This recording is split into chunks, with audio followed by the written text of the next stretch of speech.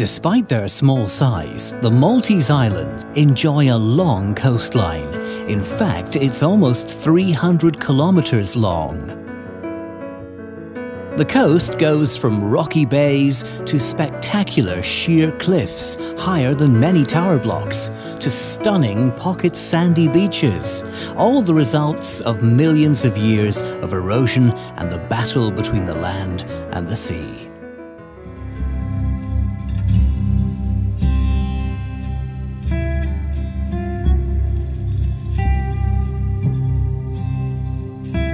In some areas, boulders have tumbled from the land into the sea, creating natural mini harbours and breakwaters, perfect places for many marine creatures to call their home.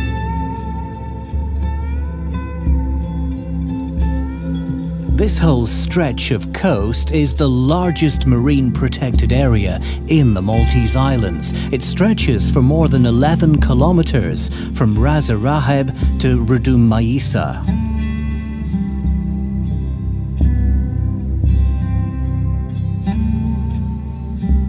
And as we go underwater, there are plenty of fish and invertebrates to welcome us to the clear blue seas of the Mediterranean. Like these cardinal fish, you'll find them usually near the entrances to caves, since they prefer low light intensities. Some species are booming in numbers, like parrotfish, mainly thanks to the gradual increase in the temperature of the sea. The parrotfish undergo an unusual transformation. They start life as brightly coloured females and later on change into darker coloured males. This habitat is called Coralligenous and it's one of the most colourful of all the underwater habitats in the Mediterranean and it's home to a large number of different species.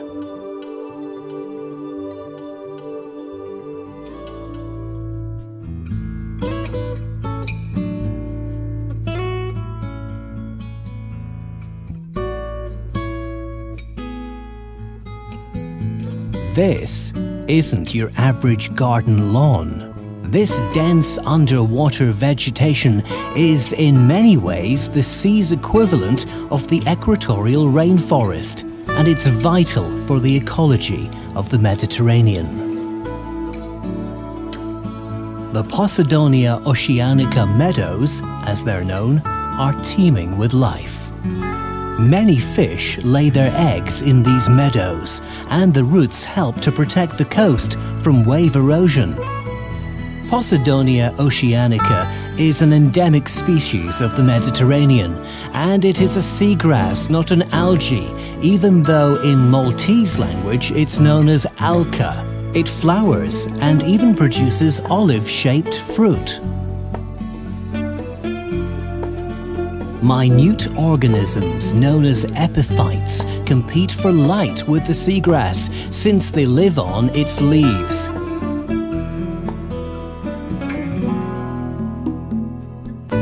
Despite their importance, Posidonia oceanica meadows cover only around 2% of the seabed of the entire Mediterranean.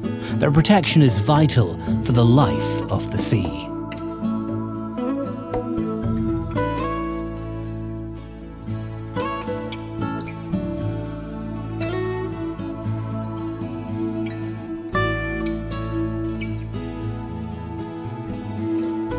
This fan worm is hungry and it uses its modified tentacles like a spoon to collect any small plankton particles which drift towards it.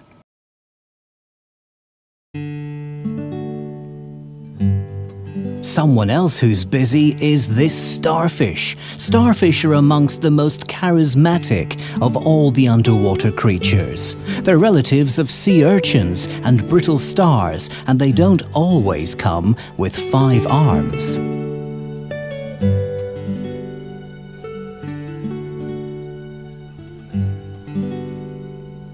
One of the most primitive of animals is the sponge. Sponges filter food particles out of the water flowing through them and elbow out their competitors in the sea by taking up available space as quickly as they can and then growing over it.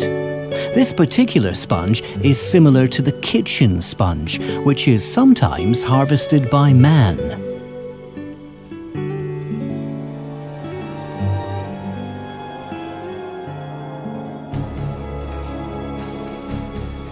Try to avoid this guy. A mauve stinger jellyfish. And yes, it does sting. Its long tentacles contain batteries of stinging cells which inject a toxin poisonous enough to immobilize small prey. It owes its scientific name, Pelagia noctiluca, to the fact that it glows in the dark.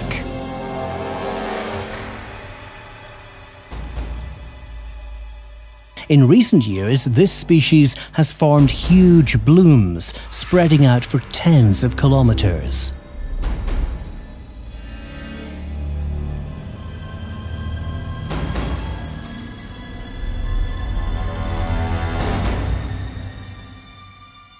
These stargazers live in sandy areas, and they ambush any naive creatures passing by, they're also extremely venomous when trampled upon, so watch out. Sometimes it's hard to spot fish in the Mediterranean as they're so well camouflaged. A painted comber leads us to his neighbour, a scorpion fish. Scorpion fish live in rocky bottoms and they're well armed with venomous spines on their backs. They can grow up to half a metre in length and eat other small fish, crustaceans, and mollusks.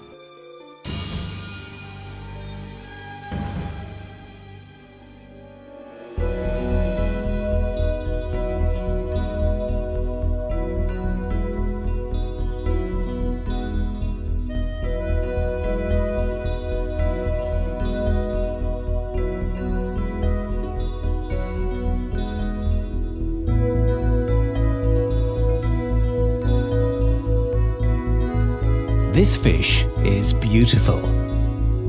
It's a John Dory or Peter's fish and has become a rare sight nowadays.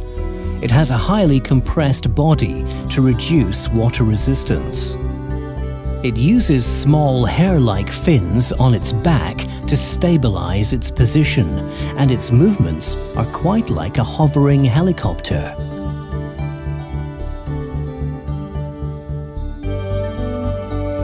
The John Dory fish has a large black spot on its side, which might be mistaken by predators as the eye of a much larger fish. Although popular legend states that the spot is the thumbprint of St. Peter. Not all fish like to show off like the John Dory.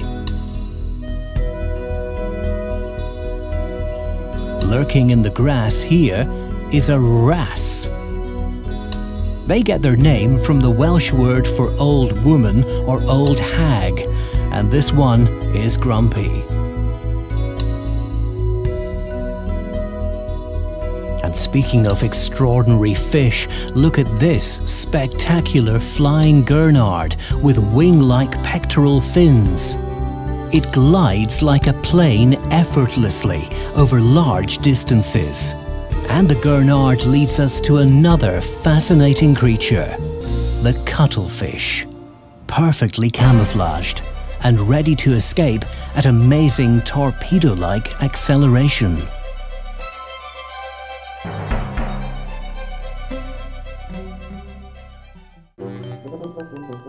You scratch my back, I'll scratch yours.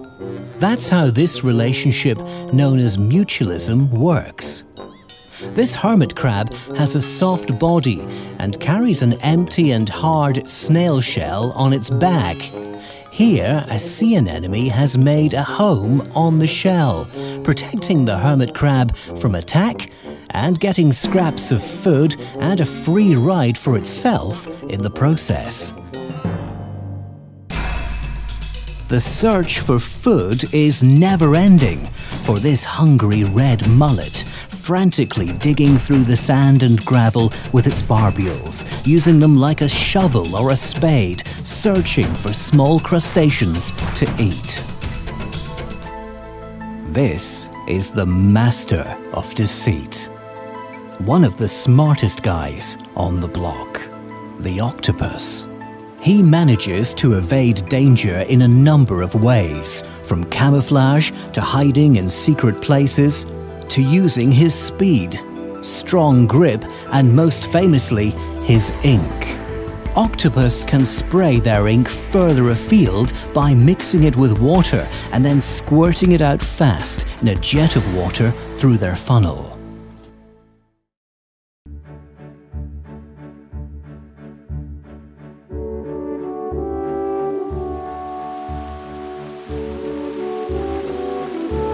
No ecosystem exists in isolation, and energy and nutrients flow from one system to another. This beautiful temporary waterfall brings a new lease of life into the marine world at Rdum Majjiesa, adding normally scarce nutrients into the sea.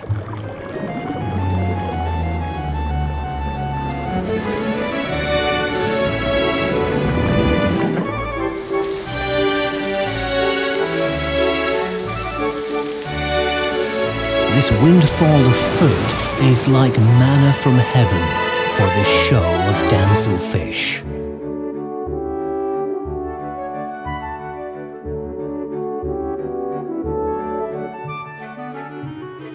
This part of the Mediterranean really is full of colour, and this large shoal of yellow striped fish are found in many coastal areas throughout the year. Salemas are recognizable by their large yellow eyes with black irises.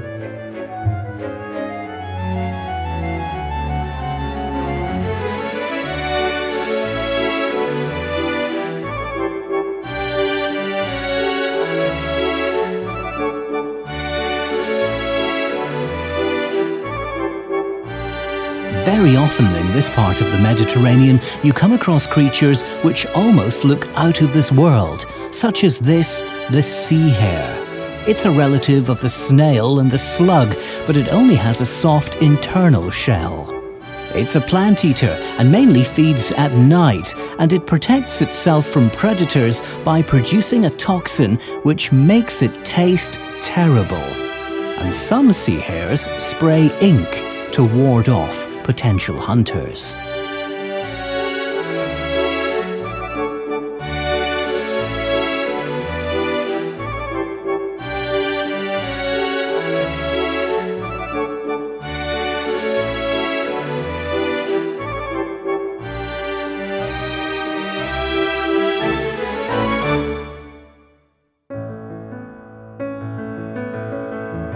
As we've seen, this stretch of the central Mediterranean on the northwest coast of Malta is truly remarkable. The sea here supports a splendid gathering of wildlife, but this great diversity has come at a high cost. It has made it one of the most balanced ecosystems, only to be easily upset and destroyed by ourselves. Survival of the natural world lies in our hands. We can either destroy or cherish it. The choice is ours.